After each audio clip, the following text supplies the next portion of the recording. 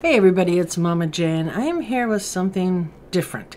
It's called Care Bear Surprise Figure. I've been looking at these for a while. I actually have a few of them and I have not opened them. It says that you peel to reveal. So discover 10 new bears. And then you peel the layer off this bear and you see what you can get. And these are some of the ones on the back. They're like mixed up bears. Mm, says 10 new ones, so there they all are. So if I had to pick one that I wanted, there's one really cute with a music note. I also like the one with the heart and the moon. Oh, they're all so cute. If you know anything, you know that I love Care Bears and I do collect custom ones throughout the community. I have quite a few fellow YouTubers that have customized Care Bears for me. All right, so let's tear it open. It's the first one we've ever done.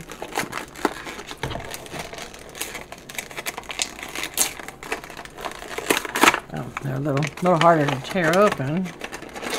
Okay. Oh, this is really cute because this is actually a stand for them once you're done. Has a little peg hole there if you can see it. There you go and it will hold your Care Bear. So this tells you, like you can peel them off and you can see which ones you'll get. I'm not sure if, because see I have blue and purple. So does that mean I'm gonna get Dreamtime Bear? So if that's true, I'm guessing I'm getting Dreamtime Bear. So we're gonna open up this blue and purple one. Okay, do that you can start peeling them. I'm sure this is probably really fun for little kids. All right, so we're starting out with some orange down here at the Nirvana. Okay, his foot. Let me shoot this camera down. I think I'm on the foot. Okay. Hmm. Little piece stuck there.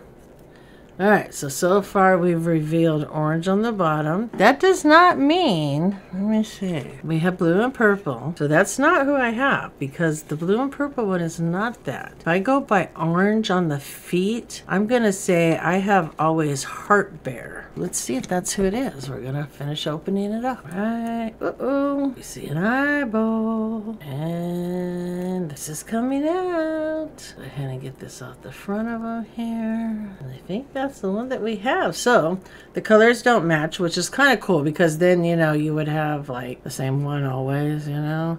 And I think I've only seen these like layered in four different colors. Let me just get this off of here real quick so I can finish showing you. These are really cute.